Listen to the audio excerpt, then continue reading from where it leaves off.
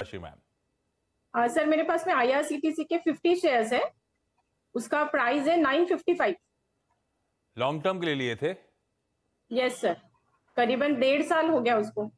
डेढ़ साल हो गया। तीन सौ साढ़े तीन सौ रुपए का लॉस भी हो रहा है। ये सब फंसने वाले स्टॉक्स थे हम लोग के लिए। बहुत अच्छे मूव्स बनाए थे इन्होंने एक समय। शर्मिला क्या करूँ भाई? तीन सौ साढ़े तीन सौ का लॉस कोई चल वल आजकल कोई पूछता नहीं है इसको।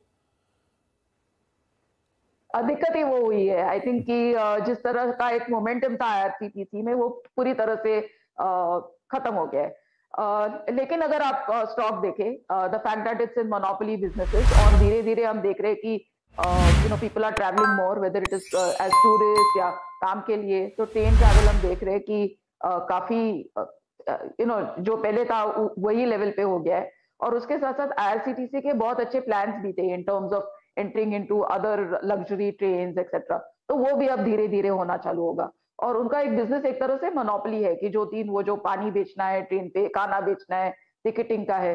तो उनकी जो पाइपलाइन है अर्निंग्स की, वो काफ़ी ठीक ठाक लग रही है। सो नाइन फिफ्टी फाइव मुझे थोड़ा दूर लगता है, लेकिन मुझे लगता है कि अभी के लिए आप साढ़े सात सौ का एक टारगेट ध्यान में रखकर इसमें आप बने रह सकते हैं।